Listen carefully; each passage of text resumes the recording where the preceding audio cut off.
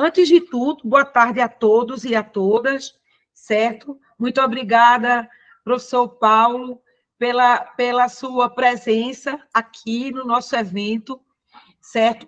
É, foi um prazer lhe conhecer é, na banca de Ivanilson, é, que é orientado pela Cláudia na, na, na linha de tecnologia né, das construções na FAUSP.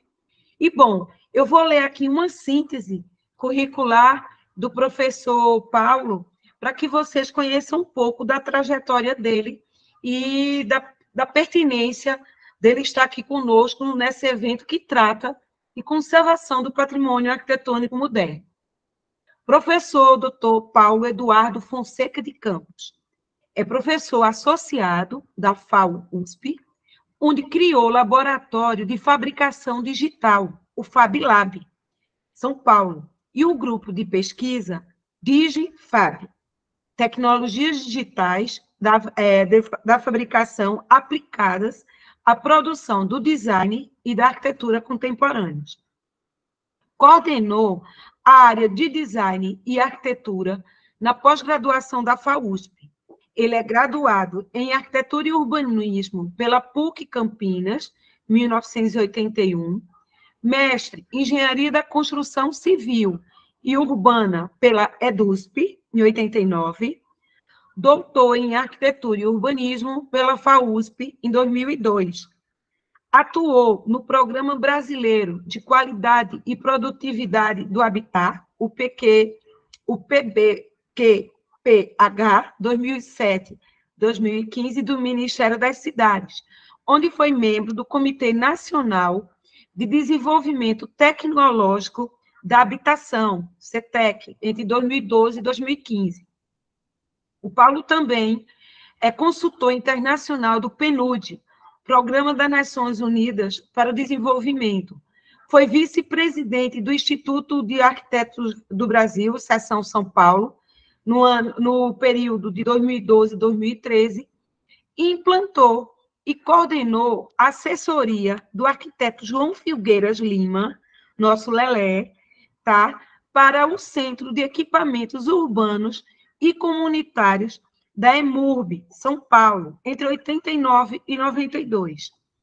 Então, o professor doutor Paulo Eduardo vai estar aqui conosco hoje, apresentando como tema de sua palestra Ciência e Tecnologia na Conservação e Restauro das Obras de João Filgueiras Lima, Lelé, tá certo? Paulo, contigo a palavra. Obrigada, viu? Perfeito. Eu é que agradeço, né, Alcília, inicialmente meu cumprimento aí a você, a Cláudia, né? Espero tenha conseguido se conectar e a todos aqueles que vão nos acompanhar agora nesse início de jornada da tarde, né?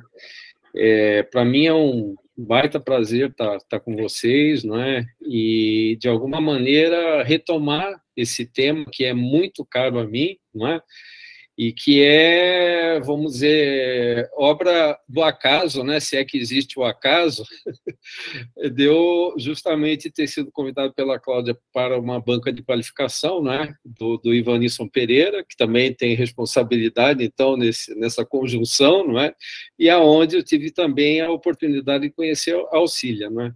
E, e, é muito interessante né, nessa reaproximação com, com esse tema, não é? que, é, primeiro, assim, eu esclareça é, que a visão que eu pretendo, vamos dizer, de alguma maneira passar, não é uma visão nostálgica, né? Da pré-fabricação leve, particularmente, né, que é o tema com o qual eu tive muita intimidade, que foi o tema que me levou a conhecer pessoalmente o Lelé e me tornar um amigo do Lelé. Né? Foi um tema que me apaixonou. Eu trabalhava com pré-fabricação pesada, sempre, e de repente, quando eu vi a, o que o Lelé estava fazendo com pré-fabricação leve, eu transformei meio que de imediato esse um um objetivo né, na minha vida profissional e acadêmica também, não é? Então, assim, não é uma visão nostálgica, por quê? Porque eu acho que esse é, patrimônio moderno que é representado e tem que ser preservado das obras do Lelé, é, ele não se resume a um patrimônio tangível, ele, ele é também um patrimônio intangível da forma de projetar, da forma como o Lelé sempre teve comprometido não é, com uma arquitetura voltada não é, à sociedade, não é, e que continua em pauta até hoje. Não é? Então, nesse caso, não é uma visão nostálgica, como eu falei, mas é assim, é aprender com o passado para se projetar ao futuro. Não é? E assim eu espero que seja entendida a minha fala aqui hoje, tá? É essa tá. primeira imagem que eu tinha falado, né? Então, nós julgávamos aí até meados dos anos 80, da década de 80, que o, o, o, concreto ele só perdia para o cachorro, não é? Ele era maravilhoso, ele era indestrutível, ele aturava tudo quanto é desaforo e a gente podia projetar obras magníficas como de fato foram projetadas, né? obras incríveis durante os anos 60 e 70, e que elas suportariam né, o passar dos anos, das décadas aí. E a verdade é que a história não foi bem essa, não é? Então, uh, aqui, é, é, é, essa é a última obra não é, de hospital da Rede Sara, não é, que foi executada, não é, é, com o projeto do Lelé, é de 2008, não é, e mostrando essa obra aqui, não é, uh, o que eu pretendo abordar é justamente uh, um pouco falar a respeito da tecnologia da argamassa armada no Brasil, que é, vamos dizer, uh, o capítulo à parte dentro da obra do Lelé, a respeito do qual eu vou falar de conservação e restauro, não é? É, mostrar um pouco dessa trajetória né, da pré-fabricação leve no país, a durabilidade e seus paradigmas, e é, parte do que eu vou adiante falar tem a ver com a minha tese de doutorado, que, embora não é, seja uma tese é, de 2002, ela, de alguma maneira, tem elementos bastante, vamos dizer, presentes, inclusive no contexto atual. E ela justamente fala a respeito de uma derivação qualitativa não é, da argamassa armada para o microconcreto de alto desempenho, e eu vou explicar o porquê, e, finalmente, mostrar alguns estudos de dosagem, né, que são uh, adequados para aquilo que a gente, porventura, venha fazer daqui para frente, mas também uh, para o restauro das obras existentes e que estão sob ameaça. Então, uh, vamos dizer, a, relação do Lelé com a pré-fabricação em argamassa armada no Brasil, não é? Ela tem uh, uma trajetória bastante reconhecida, não é? Essa foto aqui ela foi tomada no subsolo do uh, Hospital Sara de Salvador, né? Uh, onde eu tive a oportunidade, uma ocasião, né, de me encontrar com o Lelé e um amigo tirou essa foto, né? E, e é assim, em Salvador, muito provavelmente existe é, o maior parque construído de obras aí do, do Lelé. É? Então, desde a urbanização de favelas, uh, feita, uh, feita pela Renurb, não é? no início da década de 80, não é? na primeira gestão do Mário Kertz, a aproximação que houve em função dessa obra do Grupo de São Carlos, através do Christian Schill, que era filho do professor, que é filho, né, que era filho do professor é, Christi, é, Frederico Schill, da, do Grupo de São Carlos, da Escola de Engenharia de São Carlos, e que foi um dos fundadores do Grupo de São Carlos. Posteriormente, a Badiânia, né, em 83, a fábrica de escolas no Rio de Janeiro, né, na Presidente Vargas, em 85, a FAEC, que uh, uh, é a, a, volta do Lelé Salvador em, em 87, uh, na segunda gestão do Mário Kertz, e, posteriormente, a Rede Sara de Hospitais de Reabilitação, é, após 92, mas existe é, um ponto aqui a ser destacado, que são os CIACs, e eu vou explicar o porquê. Então, Centros Integrados de Apoio à Criança, em 1991. Não é? O Lelé, ele nos assessorou em São Paulo, é? no Centro de Desenvolvimento de Equipamentos Urbanos e Comunitários, é? o SEDEC, da Empresa Municipal de Urbanização, entre 90 e 92, não é? Então, daí dá para se perceber bem o quão intensamente eu vivi esse período aqui, é, justamente dialogando com Lelé em vários momentos. Então, assim, é, primeiro para que a gente tenha ideia do que vem a ser a argamassa armada, né? Ela foi introduzida no país através do chamado Grupo de São Carlos, da Escola de Engenharia da USP, né? É, em 1960. Isso, contando rapidamente, a partir do quê? De uma vinda do professor é, Dante Martinelli, que era de São Carlos também, é, a uma palestra do Piero Luigi Nervi no Museu de Arte de São Paulo, não é? ele leva essa ideia para São Carlos e São Carlos, a partir de então, torna-se um centro de excelência no desenvolvimento dessa tecnologia.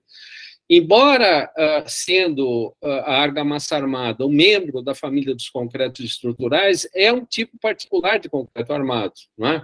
E no caso do, da argamassa armada uh, desenvolvida né, para as condições, é, vamos dizer, locais, as condições brasileiras, né, nós podemos considerá-la um material associado, onde nós temos uma armadura mais uma matriz cimentícia, as taxas de armadura bem diferentes daquelas que eram as taxas de armadura do Nerve, né, com o ferrocimento, na Itália, é, passaram a ser da ordem de 100 a 200 quilos por metro cúbico, o comportamento físico e mecânico próximo do concreto armado, mas com propriedades particulares de desempenho e uh, uma tecnologia extremamente adequada para é, a fabricação de elementos delgados de concreto, ou seja, pré-fabricados leves. E desde 1990 nós temos também uma norma de projeto e execução de argamassa armada, a qual, no entanto, não teve nenhuma atualização até hoje ela permanece na forma original dela. Bom, e dentro daquilo que a gente pode falar das estruturas delgadas de concreto, né, nós temos, vamos dizer, é, um repertório que está muito ligado às estruturas resistentes pela forma, não é? tal como ilustra aqui, né? eu tenho uma lâmina, uma folha de papel sem rigidez, a partir da hora que eu faço essa dobra, né? essas dobraduras, elas introduzem né? Um significativo incremento né, em termos de momento de uh, inércia, não é? E, e, nesse caso, eu passo a ter a condição de vencer vãos maiores em função do que? Da forma, não é? Da mesma maneira, até como já foi mostrado hoje pela Cláudia, né, no caso da cobertura da escola politécnica, né, do prédio da Policivil, não é? Nós temos lá o paraboloide hiperbólico, temos cascas paraboloides elípticas, né? ou seja, são diversas formas de trabalhar com as estruturas delgadas de concreto. É dentro desse campo, então, é, que se desenvolve, inclusive, o próprio trabalho não é? do Lelé, a semelhança do que foi o trabalho do Piero Nerve ou do Félix, Félix Candela na, na, na no México, né? Uh, em linhas gerais também, para que a gente não perca muito tempo com definições aqui, né? É, a, a, a, configuração do concreto armado, basicamente, o que é? Água mais cimento que forma a pasta, e aqui tem um, um, novo ingrediente que são os aditivos, e a gente tem que dar o destaque a eles, porque eles vão cumprir um papel na, muito importante na contemporaneidade do que é a tecnologia do concreto. Uh, depois, essa pasta, ela tem ela adicionado o agregado miúdo, ou seja, areia ou pó de pedra, não é? é que forma argamassa ou microconcreto, não é? ou a matriz do microconcreto, e, finalmente, o agregado graúdo, né? a brita, que, é, uma vez agregado a essa argamassa ou ao microconcreto, nos resulta nessa matriz da, uh, do concreto armado que nós conhecemos. Nós sabemos também que, é, como material associado, concreto armado, né? e aqui ilustrado na, numa viga biapoiada, né? eu tenho uma parte que resiste muito bem aos esforços de compressão, que estão no terço superior né? dessa peça submetida à flexão, e tem um comportamento desfavorável na parte inferior, que é onde justamente eu tenho, para resistir aos esforços aí de tração, uma armadura discreta, não é? E eu chamo de discreta por quê? Porque se nós seccionarmos essa peça, ela vai estar discretamente localizada né, em pontos dessa seção. Essa armadura principal, então, de barras agrupadas ou discreta. Ao passo que numa argamassa estrutural, né, de cimento e areia, ou microconcreto, né? como eu uh, uh, já vou explicar o porquê. É, nós temos aí, é, primeiro, uma característica, não é, que é um traço aproximado, não é, de 1 para 2 em massa, um fator aguacimento que gira em torno de 0,4, não é, e simplesmente assim, a gente elimina o agregado graúdo. Por quê? Porque são peças de pequena espessura, eu digo aí que nós estamos nos referindo a peças que, em média, tem 25 milímetros, 30 milímetros de espessura, não é? E outra característica bem particular, né? além da forma resistente, então, é uma seção que se assemelha muito ao que seria uma seção de uma viga de aço, não é? É, nós temos uma armadura de é, malhas de fios muito finos, né? pouco espaçados, distribuída e subdividida, que pode, inclusive, assumir uma configuração aí de fibras contínuas ou não. Então, é, com relação a isso, é importante que a gente perceba, inclusive, que esse material, da maneira como está aqui colocado, né, tem uma proximidade muito grande daquilo que veio a se chamar depois os materiais compostos de base cimentícia. Então, o GFRC, né, o Glass Fiber Reinforced Concrete, né, o concreto reforçado com fibra de vidro, ele tem uma relação direta aqui com esse tipo de matriz e com esse tipo de concepção também. Né? E por que essa armadura de fios finos e poucos passados? Justamente porque é necessário, né, e aqui é uma ampliação da microestrutura uh, de uma seção de microconcreto né, ou de argamassa armada, é importante ter esses elementos obstaculizadores, que é essa armadura fina e pouco espaçada, justamente para conter as fissuras. Por quê? A abertura de fissura é algo que é, faz parte, é intrínseco, não é? Ao, ao próprio concreto armado. Na medida em que eu tenho uma peça de pequena espessura, com fios poucos passados né, na armadura, né, uh, e fios finos, eu tenho condição de conter, de obstaculizar, de fazer o controle da abertura dessas fissuras. Essas fissuras geralmente são geradas aí a partir né, de um caminho de menor demanda energética, primeiro se manifestando na ligação pasta-agregado e depois através da pasta, mas dificilmente através do agregado. Isso naquilo que seria, vamos dizer, esses concretos convencionais, né, onde o agregado é a parte mais resistente. No entanto, a gente vai ver que no concreto de alto desempenho isso muda totalmente, é? Ou seja, a, a, a matriz passa a ser a parte mais resistente mecanicamente, e o agregado, por vezes, não supera a resistência da própria matriz. Bom, uh, falando mais especificamente já da relação do Lelé com a argamassa armada no Brasil, não é? é importante que a gente veja que é, os projetos do Lelé, embora o Grupo de São Carlos tenha dado os primeiros passos não é, para uh, essa tecnologia, efetivamente foram os projetos do Lelé que tornaram ou deram ah, notoriedade né, nacional e internacional é, a, a pré-fabricação leve feita com argamassa armada. Tá? E principalmente em função do elevado desempenho estrutural que essa tecnologia de pré-fabricação leve apresentava. As grandes fábricas aí que ocorreram ao longo dos anos 1980 também são testemunho, não é? E foram, enfim, é, é, é, bastante estudadas e, e, esse exemplo replicado não só no país, mas inclusive fora do país, né? Eu até vou mostrar aqui um livro, né, que é o Microconcreto de Alto Desempenho, tecnologia do microcad aplicada na construção do hábitat social que é um livro uh, que está em espanhol, não é? E resultado de um projeto de cinco anos, né? De 2008 a 2013, e que uh, teve como objetivo, não é? Justamente começar a recolher as experiências que foram surgindo com argamassa armada ou microconcreto, não é?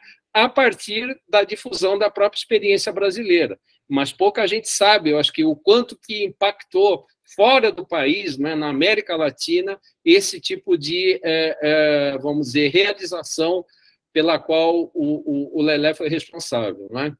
Então, a, eu queria destacar aqui, né, logicamente a gente vai falar sobre a parte técnica, né, mas dois pontos de inflexão que eu vejo nessa trajetória, não é? Uh, sendo o primeiro desses pontos um ponto técnico, que é a publicação da norma 11.173 de projeto de execução da argamassa armada em 1990. A gente pode dizer assim, até então, vamos dizer, pela falta de norma, havia muito, vamos dizer, é, é, não tanto improviso, mas muitas, muitas imprecisões na hora de executar. Né? A partir da hora que, é, principalmente, o Grupo de São Carlos assume né, esse protagonismo na normatização do material, a gente passa a ter um divisor de águas, que é, inclusive, o que foi usado né, como é, é, ponto de referência principal quando eu desenvolvi a pesquisa de doutorado.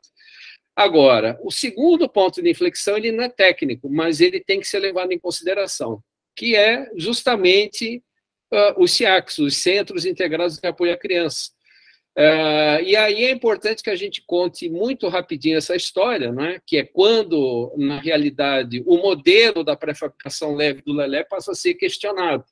Então, o Brizola, através do Darcy Ribeiro, né, o governador do Rio de Janeiro, Leonel Brizola, através do, do vice-governador Darcy Ribeiro, fez chegar ao Fernando Collor de Mello a proposta dos SIACs.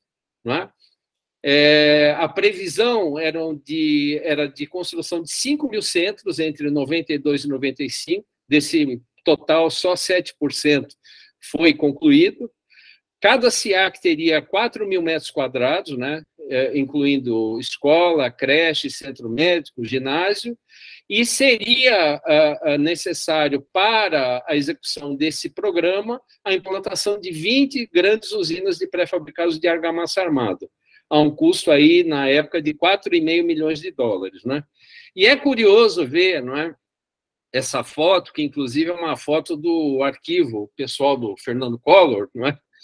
É, onde nós vemos aqui, vamos dizer, uma, uma, uma variedade, não é, do ponto de vista de matiz político bastante grande, não é? Então, desde o Ciro Gomes aqui à esquerda, começando da esquerda, o Alceni Guerra, que era o ministro da Saúde do Collor, e foi dentro desse ministério que foi é, é, desenvolvido o programa dos SIACs, o próprio Leonel Brizola, a Rosane Collor, Fernando Collor de Mello, Antônio Carlos Magalhães e Edson Lobão, não é?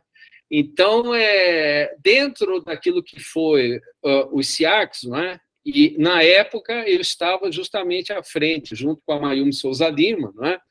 É, do SEDEC, da EMURB. Não é? E algumas opiniões que uh, foram registradas à época, não é? em uma matéria que eu gostaria de mostrar aqui, porque tem muito a ver com o desfecho dessa história. Né? É, primeiro, é, uma declaração aqui do João Bento Dianai, né, do professor João Bento Dianai, do, da Escola de Engenharia de São Carlos, que é, é o, o, que foi o coordenador do grupo de São Carlos, do, do qual eu participei também, né, e falava o seguinte na ocasião, em 91, mesmo que a tecnologia da argamassa armada tenha sido bem divulgada no Brasil nos últimos anos, ela não é familiar à maioria dos profissionais da engenharia e arquitetura. Não que haja grandes dificuldades de assimilação, já que não existe nenhuma misteriosa caixa preta sobre ela. E destaco aqui: persiste, isso sim, certa falta de cultura sobre o assunto e, em geral, sobre o tema da construção industrializada que volta agora à pauta com tudo. Nunca se falou, acho que tanto nesse país, a respeito de industrialização da construção, principalmente voltada para a habitação, no programa Minha Casa Minha Vida, que foi recém-retomado. E a gente vê opinião de tudo quanto é tipo, inclusive de, é, às vezes, é, eu diria assim, neófitos não é? no tema da construção industrializada. Não é? Então, a gente já fica com um certo pé atrás. Então, essas ah, deficiências, né, afirmava o João Bento de Anai, podem implicar no elevado índice de rejeição de componentes, seja por sua qualidade insatisfatória, seja pela necessidade de manutenção a curto prazo. E depois, eu diria que quase que profeticamente, né, a Mayumi Souza Lima, a arquiteta Mayumi Souza Lima, é, com quem eu tive o prazer de trabalhar e juntamente implantar o SEDEC da Imurb aqui em São Paulo, em 1989, não é? ela declara: preocupa-nos a perspectiva de se produzirem peças de argamassa armada em todo o Brasil, porque esta tecnologia exige um rigoroso controle de produção. É, conclui avaliando que, caso o projeto fracasse, o material seria queimado nacionalmente, exigindo um longo trabalho para reabilitá-lo. Eu diria que esse trabalho para reabilitá-lo, ele todavia não terminou até hoje, porque o estrago que foi feito não foi pequeno. Ou seja, para além da questão uh, da conservação e restauro das obras do Lelé, eu acho que existe também uma questão de resgate de uma tecnologia que foi é, queimada nacionalmente, que foi é, é, é, detonada, para falar português claro. Então, olha, a nossa matriz em termos é, de desenvolvimento desse material, sem dúvida alguma, é o trabalho do engenheiro de estruturas italiano Piero Luigi Nervi. E o Nervi, né, tal eram as realizações dele, como esse hangar de Orvieto aqui, que infelizmente foi destruído durante a guerra, não é? O NERV ele é, passa a, a, a partir é, de um determinado momento, não é? é no final dos anos 40, é, a recuperar aquilo que seria o material originalmente, não é, é precursor do próprio concreto armado, o Ferciman de Lambeau, que nas mãos do Nervi, então passa a ser o ferro-cemento, e aqui a maior grande realização, né, a primeira das grandes realizações do NER com esse material, que é essa é, cúpula é, é, cilíndrica, não é? é? é essa cobertura cilíndrica aqui, de 1948, pavilhão de exposições de Turim, com peças de 38 milímetros de espessura, vão de 95,10 metros, não é? E aqui eh, já estavam presentes as características, primeiro, de altíssimo desempenho estrutural do ferro-cimento, é? ou do ferro-cimento de Nerve, compatível com aquilo que nós conhecemos hoje como materiais compostos de base cimentícia. Estruturas laminares de pequena espessura, como se pode ver, é? então estamos falando aí de 38 milímetros. É, comportamento, no caso do ferro-cimento, infissurável, não é? Por isso a gente chama uh, o ferro-cimento de um material sinergético, ou seja, uma vez que uh, cimento, não é, ou matriz cimentícia mais armadura se juntam, dá-se origem a um terceiro material diferente do comportamento de ambos, não é? E superior, com características e propriedades superiores. No entanto, o consumo de cimento era da ordem de mil quilos por metro cúbico, as taxas de armadura da ordem de 500 quilos por metro cúbico, e, é, finalmente, ao final dos anos 50, é, é, viu-se a impossibilidade de competir economicamente com esse material. Por quê? Uma grande taxa de armadura corresponde também a uma composição não é, de custo de mão de obra bastante elevado. Então, simplesmente esse material, ah, embora sendo difundido pelo mundo inteiro, inclusive aqui no Brasil, não é? como eu comentei em 1960 nessa palestra no MASP, não é? O fato é que é, é, esse material passa a ter problemas, não é, do ponto de vista econômico, para competir. É, a mesma coisa, por exemplo, pode se falar a respeito do trabalho do Félix Candela no, no México, né? As suas cascas de ferro-cimento.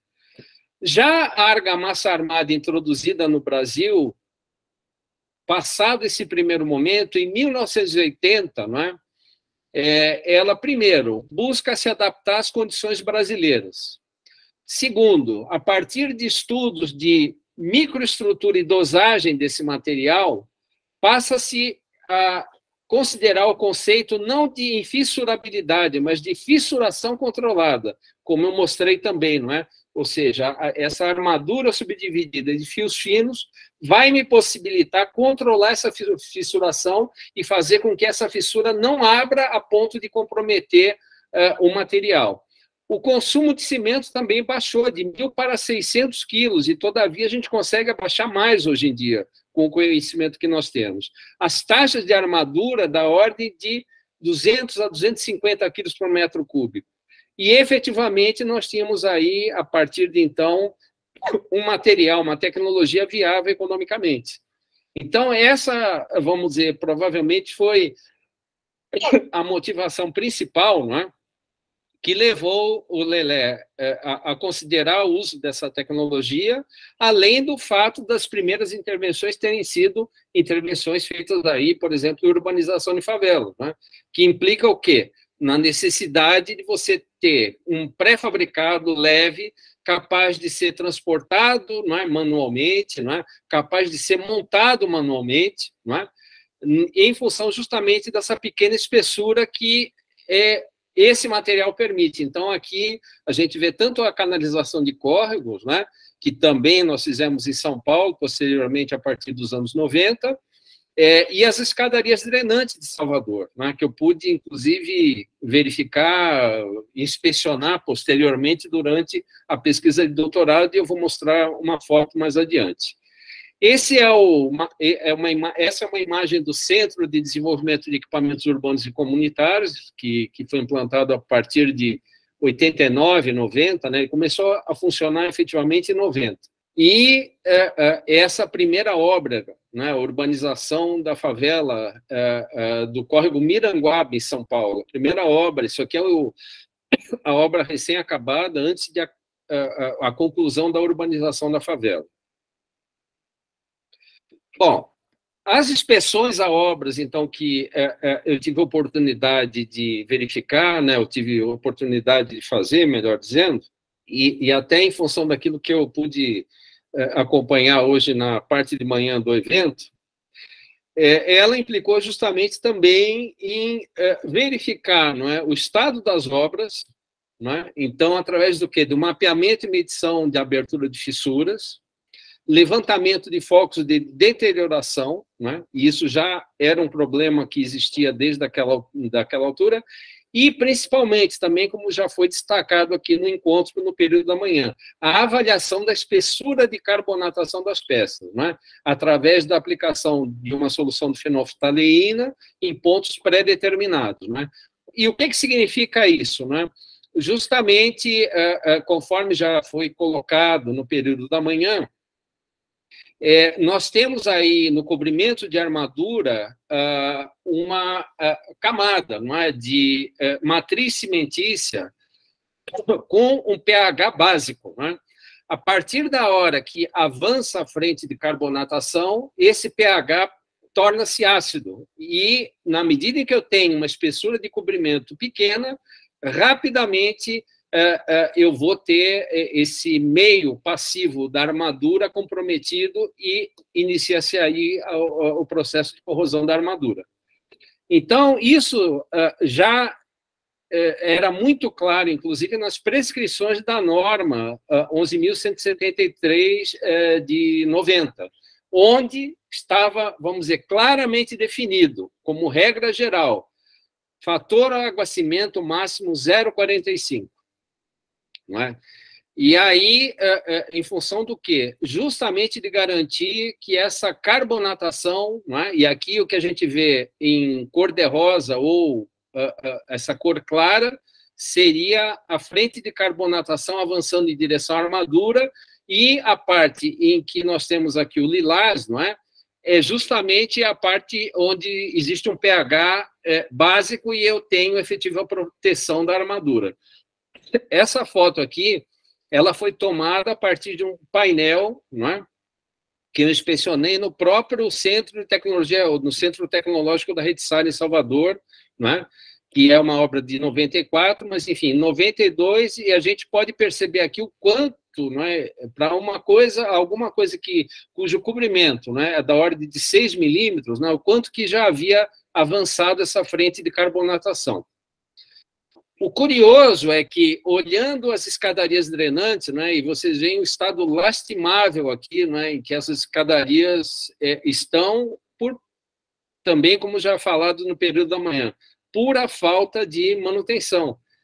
É, é, é eu tive lá no Vale das Pedrinhas, né, olhando e inspecionando né, essas escadarias, E qual não foi a minha surpresa quando, ao fazer o mesmo teste, né, o mesmo ensaio para verificar a espessura de carbonatação, eu pego peças aí, né, que são das escadarias drenantes de 1979, uh, e praticamente assim, não passava de um milímetro essa espessura de carbonatação.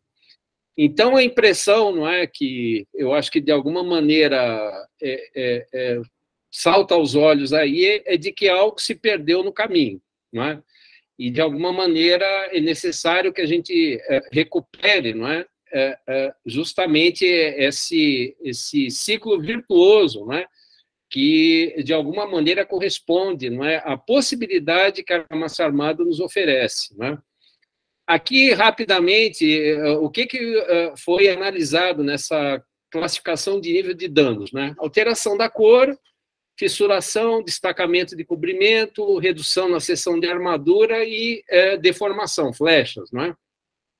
E a gente vê nessa classificação aqui uh, do Comitê Europeu de, do, do Beton, não é? o Comitê Europeu do, do Concreto, as uh, cinco classes, não é? E o que que em cada uma dessas manifestações, não é? é nós temos aí, em cada uma dessas cinco classes, em cada uma dessas cinco categorias, né? Foi, com base nisso foram feitas essas inspeções, né? E uh, aqui um pouco para que a gente tenha ideia, não é? Uh, por exemplo, essa uh, escola, não é?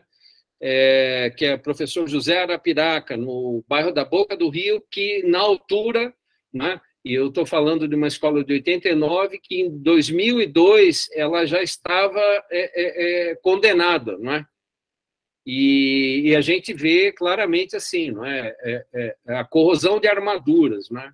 E a preocupação também é um pouco essa, não é? Ou seja, dependendo então da, do, do tipo de ambiente, né? Da, do, do, do, nível de agressividade do ambiente, por exemplo, nesse caso aqui é de frente para o mar, a névoa marítima, né? Ela chega e afeta diretamente essas peças que estão pré, é, expostas é, à névoa salina. No entanto, é, o que eu posso pensar a vocês assim é que tudo depende da maneira como nós vamos trabalhar com esse material numa atmosfera agressiva, de como vamos adequá-lo para que ele seja de fato é, resistente né, a esse tipo de ambiente agressivo. Então, ah, na altura, a tese ela se baseou justamente no quê? Não é? Qual foi a hipótese? Não é? é que a argamassa armada feita segundo a norma brasileira era potencialmente já um concreto de alto desempenho. E que, dentro dessa linha, não é? era possível revisar e restabelecer paradigmas. Não é? E, para isso, os avanços nas pesquisas e é, perspectivas científicas que, até o presente, não é, é, é são fundamentais, não é? é ela, essa revisão e restabelecimento de paradigmas está baseado no quê? Nas matrizes cimentícias de alto desempenho, que até então, não é, o concreto de alto desempenho, ele substitui, não é, o CAD, o uh, conceito de CAR, né, concreto de alta resistência, que foi algo que, é, principalmente na década de 70, nos Estados Unidos, em função da competição que havia entre é, estruturas em altura, né, os arranha-céus, feitos com estrutura metálica, o concreto se viu na, na, na, vamos dizer, na necessidade, não é, de dar uma resposta de estruturas em alturas em concreto e a partir daí começa a ser desenvolvida, não é? ou ser desenvolvido o conceito de CAR, de concreto de, alto, uh, de alta resistência. No entanto, o concreto de alto desempenho, como o próprio nome já diz, não é alta resistência mecânica somente, é durabilidade também. Uma coisa tem relação com a outra, não é? E além do concreto de alto desempenho, né, ou dessas matrizes de alto desempenho, eu tenho a possibilidade também de uso de fibras, das mais variadas aí, desde fibra metálica, fibra de polipropileno, é, fibra de vidro álcali resistente, né? Eu tenho também é, é, de forma né, cada vez, hum, vamos dizer, mais significativa, né, o uso intensivo de superplastificantes? Uh, não é, simplesmente para, vamos dizer, permitir uma melhor trabalhabilidade dessa mistura, mas como redutor de água, né? É, e por que isso daí? Né? Todo mundo tem em mente sempre a lei de Abrams, né? A, a, a resistência inversamente proporcional à quantidade de água na mistura. No entanto, a lei de Abrams já não é mais suficiente quando eu falo a respeito de durabilidade. E aí é importante a gente lembrar, por exemplo, né, o, o, método né, de dosagem de Powers, e, e, algo que eu acabei tomando contato através aí do professor Paulo Helene, né, quando cursei a disciplina dele pela primeira vez, que ela estava sendo ministrada na Escola Politécnica, quando eu estava fazendo mestrado, mas também o, o, o professor é, Hernani Sávio, sobrinho, né, que é professor da Escola Politécnica da Federal da Bahia, também já vinha pesquisando. Uh, e, por fim, além dos superplastificantes, né, como redutores de água, ou seja, eu tenho para, além de uma água para hidratação do cimento, o Powers fala justamente que eu tenho uma quantidade de água livre na mistura que está ali só para dar trabalhabilidade essa mistura. Se eu tenho superplastificante e consigo retirar parte dessa água livre, eu estou contribuindo justamente para diminuir a porosidade. É? Eu, essa microestrutura vai passar a ser mais fechada. E a partir da hora que eu ainda posso acrescentar um material que é, é uma centésima parte, né, a partícula né, de materiais cimentícios suplementares, tais como silicativa, cinza volante, metacaulin, pós-reativos em geral, eu ainda consigo fechar né, de uma forma impressionante é, é, essas é, é, matrizes de alto desempenho. Não é? Então, o, o, o ferro-cimento hoje, né, se a gente for ver, inclusive pelo, pelo IFIC, né, que é o Centro Internacional que estuda é, o ferro-cimento há, há, muitas décadas já, não é? lida também com a questão não só do ferro-cimento enquanto aquele material originalmente nós conhecíamos, mas também como um material composto reforçado com fibra. Então, e inclusive eu posso, além disso, mesclar é, essas soluções. O mais impressionante é que, ao mesmo tempo em que nós, é, e como eu mostrei lá, talvez o ponto de inflexão tenha sido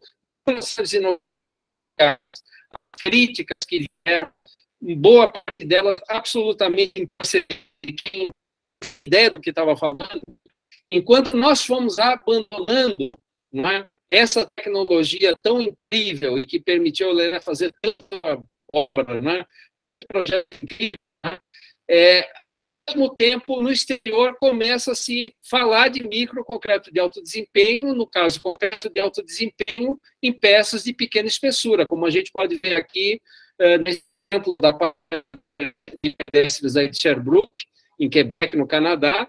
Então, isso daqui é uma obra que foi registrada pelo professor Pierre uh, que, na minha opinião, né, é uma das autoridades no mundo, né, em termos de né, tive a oportunidade, junto com o meu orientador na época, o professor Geraldo Serra, de traduzir esse livro para o português, é, que é o livro completo. E nele, claramente, é, vamos dizer, existe aí é, a questão da substituição da quantidade e a possibilidade não é, de se restabelecer esses paradigmas e resgatar a massa armada, ela, de alguma maneira, ela está vinculada, não é? E resgate da argamassa armada, à introdução desses conceitos contemporâneos né, que vieram sendo introduzidos a partir aí, principalmente da década de 90.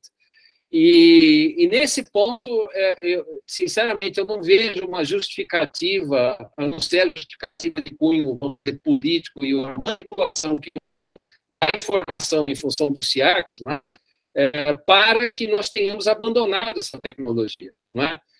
Muita coisa ainda foi feita, mas a, a, essa reputação ela foi arranhada seriamente em função, e por causa dos jovens que haviam ali, o, o que havia ali. Uh, e acho que citar aqui uh, os processos acelerados, então, de descaracterização dos projetos originais do Lelé, não é?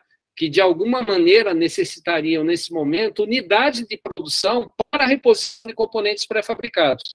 E isso a gente vê que está é, tá longe de se tornar, vamos dizer, uma política é, que, de alguma maneira, preserve não é? esse patrimônio é, tão valioso do, do João Figueiras Lima. Para que a gente tenha uma ideia também é, da equivalência aí do que vem a ser não é? o, concreto de desempenho é, com relação a outras tecnologias, nós temos aqui é, equivalente de concreto pós-reativos, outro de aço, concreto protendido e concreto armado. Então, quando eu me refiro aqui a, a um microconcreto de alto desempenho, eu estou me referindo precisamente a um concreto de pós-reativos, não é? Porque, além da matriz cimentícia convencional, nós temos aí uh, a introdução de superplastificantes de última geração e também uh, de materiais cimentícios suplementares, como silicativa, metacaulin. E você veja assim, né, que nessa hora é, esses perfis que são estruturalmente equivalentes, né, foram tomados aí da Bouygues, da, da França, tem um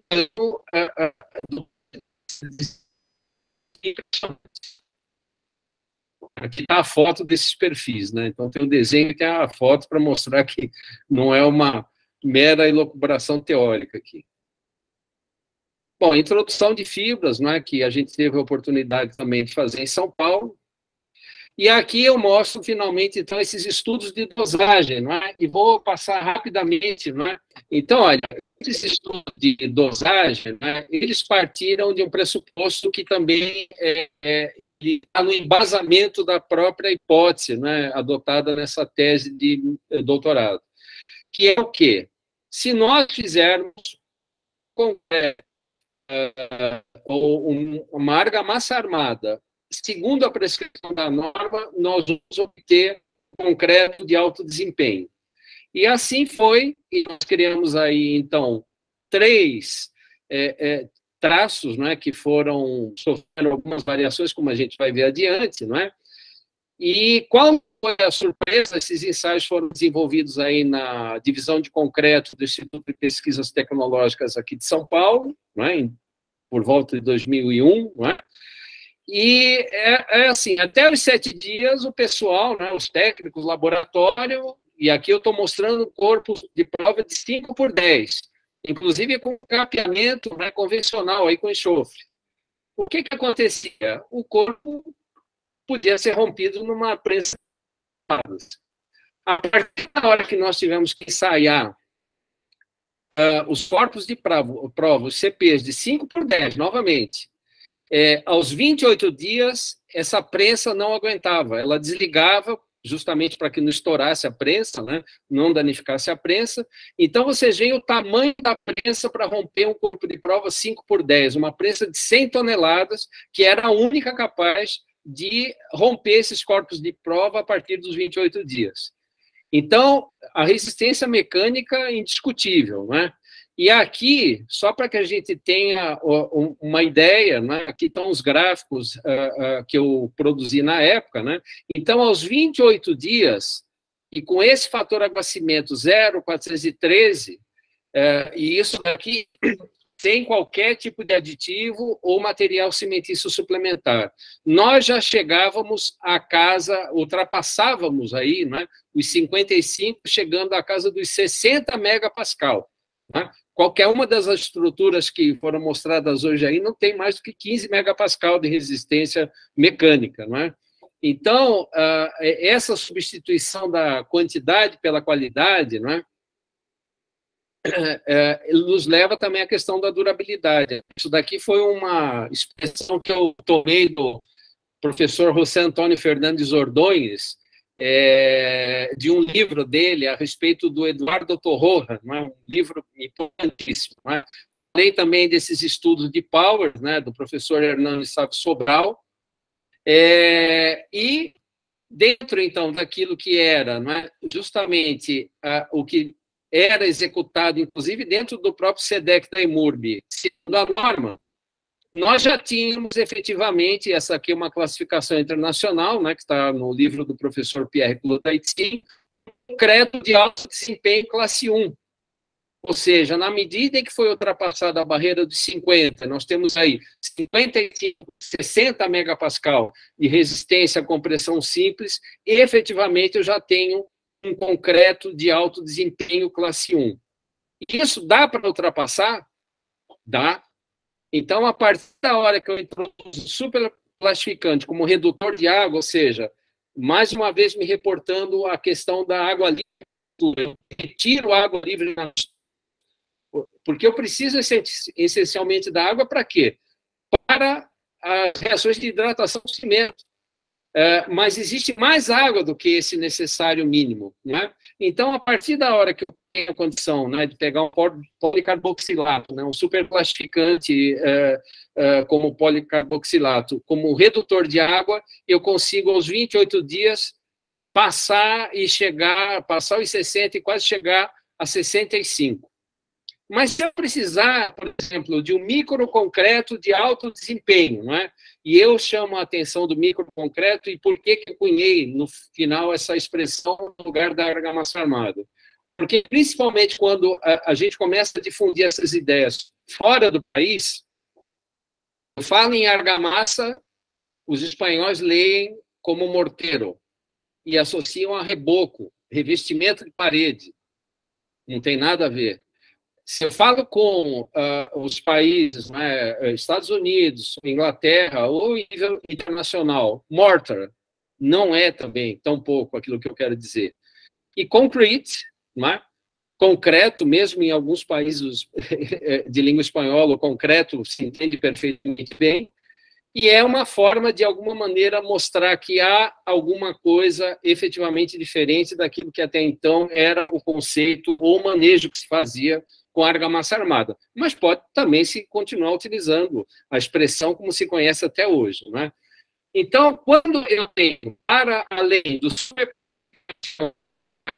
silicativa, que é um material cimentício suplementar, aí a minha resistência aos 28 dias, não é? Com esse fator água cimento, é, eu tenho a de colocar na prática, por quê? Porque eu tenho um superclassificante. Eu consigo chegar praticamente e 15 megapascal mil F. Né? Então, isso é e isso uh, significa não só uma alta resistência mecânica, como eu dizia, não é? Então, se a gente pegar esse. E, e aqui uma outra descoberta interessante. É, como é, correntemente se fala o que vem a ser um concreto de alto desempenho. Então, frequentemente se ouve, tanto na literatura, né, se lê na literatura nacional como internacional, o concreto de alto desempenho é praticamente pedra artificial. Né? A resistência, por isso que é, é, a gente percebe que dificilmente, né, é, é, vamos dizer, a, a, matriz dentro dessa, desse contexto, né, ela acaba sendo a parte fraca com relação ao agregado. Né? Mas, enfim, no traço 1, que eu acabei de mostrar o gráfico, né, nós temos aqui uma fotomicrografia, só para mostrar essa fotomicrografia ampliada 25 vezes na laje petrográfica, por quê? Porque essa é a maneira como eu tenho é, como mostrar, vamos dizer, essa microestrutura. Não é? Aqui dá para se ver perfeitamente como a fissura, nesse traço 1, ainda percorre o caminho de menor demanda energética, aqui é aumentado 100 vezes. Não é? Então, na interface entre o agregado, que é um grão de areia, e a matriz, Posteriormente, eu tenho o traço 3, que está no outro extremo, não é? que nós lá que chega a 115 megapascal, e pode-se ver aqui, primeiro, né, que existe uma aproximação dos agregados, que é uma característica do concreto de alto desempenho. E também não existe praticamente nenhuma descontinuidade na matriz. E nesse caso, por que, que nós temos aqui é, uma aparência é, é, mais escura? Né? Dessa matriz, porque é uma característica da nossa microcílica aqui no país. Bom, para mostrar que, vamos dizer, isso não se perdeu, né? e continuou se trabalhando com essa tecnologia, eu particularmente nunca abri mão dela, né? Isso daqui são obras aí de 2003 em São Paulo, quando a gente desenvolveu de rampa de acessibilidade. para a Avenida Paulista também, que foi o último projeto que eu fiz antes de é, entrar no corpo central. Então, uma obra de 2007, não é? Essas rampas de travessia são rampas pré-fabricadas de microconcreto. Uh, nesses brises aqui do, da, do Pátio Vila Sônia do metrô, uh, é uma obra de 2008, e a gente vê novamente né, a estrutura resistente pela forma aqui, não é? então a maneira é, é, como esses brises são dobrados aí, né? a dobradura para que ele tenha justamente a possibilidade de vencer essa altura.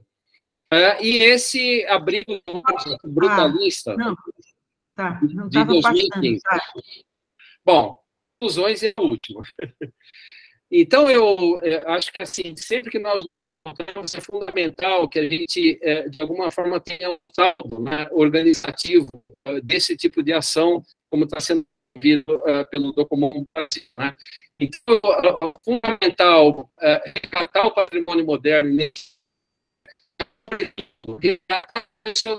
o, o patrimônio intangível, com vistas ao futuro, continuar se usando essa tecnologia uma revisão urgente da norma ABNT 11.173 de 90. E isso tem que partir da sociedade demandar essa revisão ao comitê, ao CB18. O concreto de alto desempenho, a falta de estímulo pesquisas tecnológicas, né, nos leva falar, olha, tudo bem, mas como que eu vou utilizar esse material, não é? Então, as estruturas delgadas de concreto, se a gente quiser chamar de um outro modo. Uh, e a necessidade né, que nós temos de, de alguma maneira, voltar a utilizar essas tecnologias que eu chamo aqui de Lautec para vencer esses desafios da escassez que nós temos no país. Uh, por último, eu só queria comentar que hoje, para que a gente uh, entenda também a atualidade desse tema, está sendo realizada a reunião de instalação da comissão de estudo né, da ABNT eh, de estruturas de concreto de ultra alto desempenho e edificações. Está ocorrendo hoje ou seja, é tema atual, é tema contemporâneo. Tá? Então, muito obrigado. A gente super agradece, né, parabeniza pela tua fala.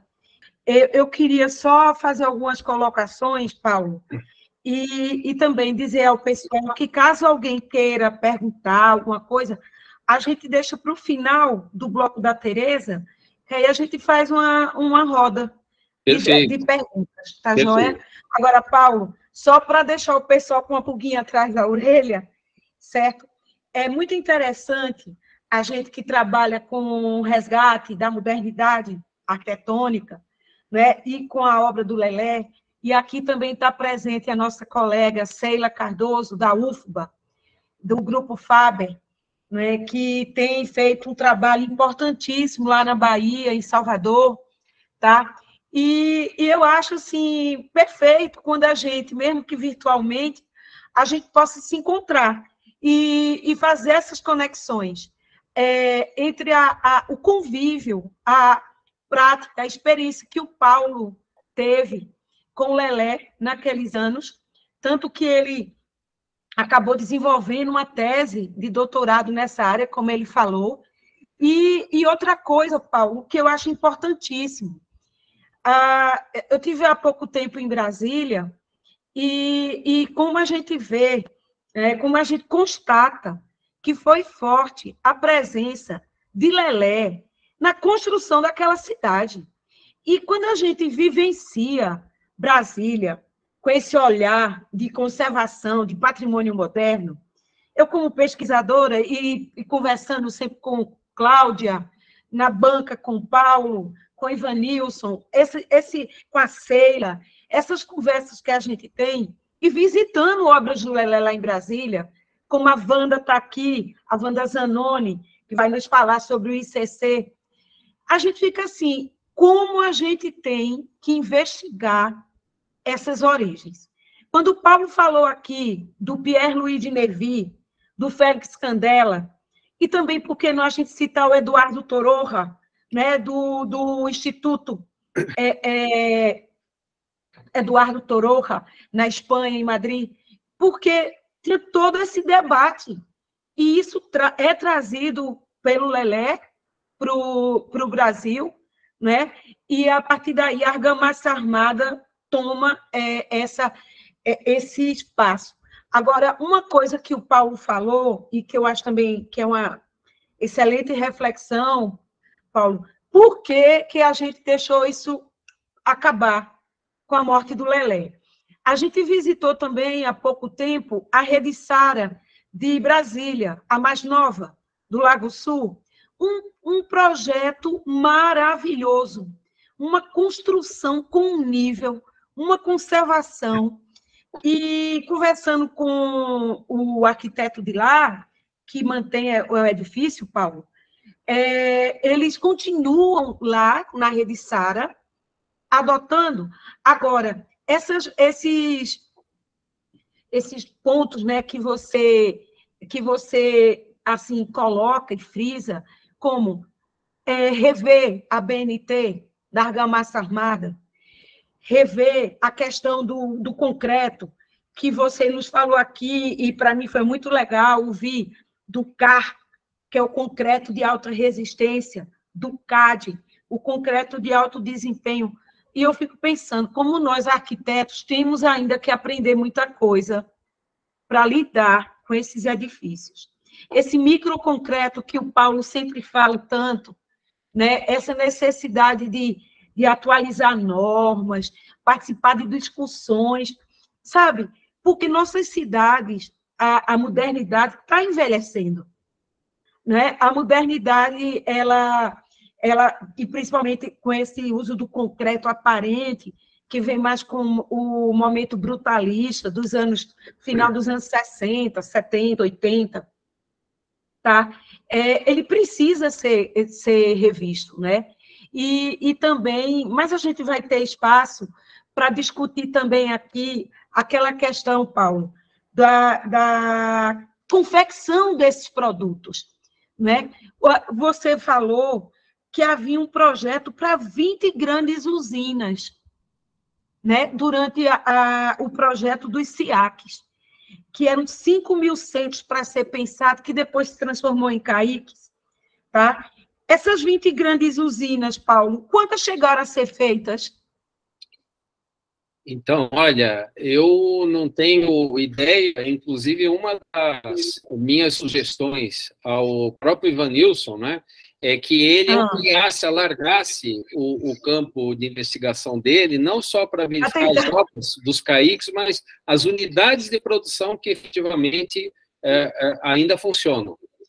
Tá. É uma, é uma pesquisa a ser feita, não é, Paulo? Eu, eu acho que é extremamente relevante. Eu posso dizer seguinte, né? é, na época, não é, eu tinha, depois que eu saí da, da EMURB, não é, ah eu uh, montei um escritório, né? Tinha um escritório, né? De projeto de desenvolvimento de produto e, e para e passo com aquilo que foi falado pela Mayumi, né? Na época, né? Que queimaria, eu, eu nunca tive tanta demanda de trabalho na época, inclusive as grandes empreiteiras atrás que queriam, que queriam assimilar a tecnologia. Só que não Sim. tinham para isso, né? E, então, tinham que recorrer a quem, de alguma maneira, detivesse esse conhecimento. E, para a minha surpresa, né, as usinas que me chamaram depois de implantados, elas, é impressionante o que se fez né, nesse período, em termos de gastar dinheiro à toa, de, é, de repente, ter formas, ter os meios de produção, mas não saber como utilizá-los corretamente. Por quê? Porque não se é. a tecnologia. Então, eu acho que tudo começa a partir daí. É, e, e assim, o, quando, quando a gente vai estudar a conservação desses antigos SIACs atuais, CAICs, né, é, a gente vê que, pelo Brasil, apenas 300 e poucas unidades, 330, se eu não me engano, foram executadas das 5 mil, e muitas delas com péssima qualidade construtiva. Quer dizer que essas usinas, apesar de terem sido idealizadas de uma forma né, muito, talvez, sei, um pouco tópica para a realidade, mas aí pelo momento político, que a gente não pode, foi o momento né, do impeachment, logo em seguida, e naquela foto simbólica, a gente vê ali uma reunião do Brizola com Collor, aquela coisa assim, né? Mas dois, três anos depois, impeachment, pá, acabou tudo. E, e foi a crise que a gente sabe que tem discutido. Mas a gente vai retomar é. isso, Paulo. Se você me é, permitir, uma última coisa mesmo, né? Mas assim, você citou Sim. até a professora Seila, né? Da, da, da, Federal da Bahia e do Grupo Faber, né? É, que foi outro encontro que ocorreu através do seu intermédio. Você fez essa ligação. Ah, e eu Sim. lembro que em uma das mensagens que eu troquei com a Sheila, que eu falei assim, olha, acho que eu reencontrei minha tribo. Porque eu achei fantástico esse trabalho que está sendo feito na Federal da Bahia, é, é, é único, é importantíssimo, principalmente sendo feito em Salvador, na Bahia, sabe? Então, eu, eu acho que a gente também tem que adquirir, vamos dizer, essa expertise em como trabalhar em rede e como não afrouxar o espaço.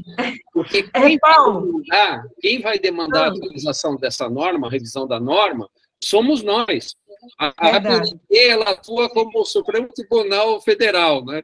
Ela não vai nada se não for provocada. Então, a demanda é. tem que partir da sociedade, tem que partir dos técnicos, por quê? Porque é uma tecnologia muito preciosa para a gente vencer os desafios que nós temos no país. E é importante é, que haja adulteração da tecnologia, que ela seja uhum. feita dentro dos padrões de excelência que a gente pode alcançar. Exatamente. E, e eu quero deixar aqui uma cimentinha, viu, Paulo?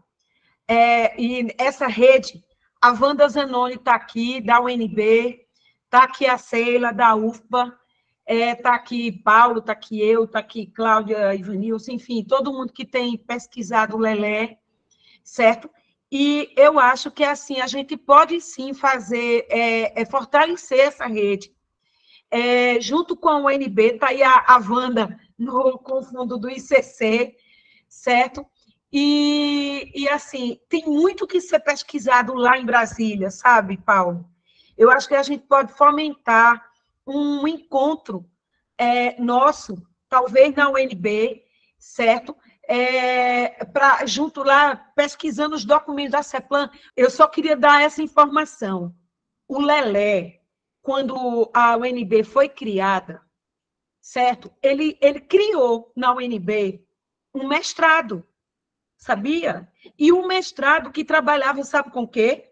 Pré-fabricação, industrialização.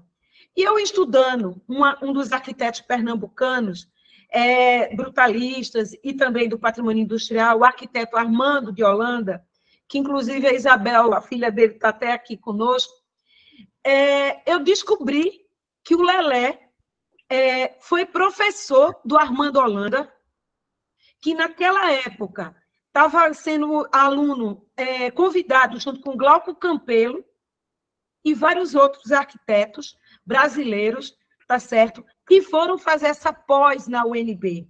E sabe qual era o caminho da pós, Paulo? A pré-fabricação. E com certeza é, as discussões iniciais, né, do concreto, da argamassa, para aquelas obras pilotos, né, de Brasília. Eu acho que a gente precisa olhar mais para o patrimônio de Brasília, porque foi onde o Lelé começou né, esse grande laboratório, e a partir dali ele vai Rio, é, Salvador, né, volta para Brasília e continua as, investiga as investigações dele. Fica essa provocação para a gente fazer esse futuro encontro, que eu estou aqui já arquitetando na minha cabeça. E é isso. Muito obrigada, Paulo. Eu que agradeço. qualquer pergunta, gente.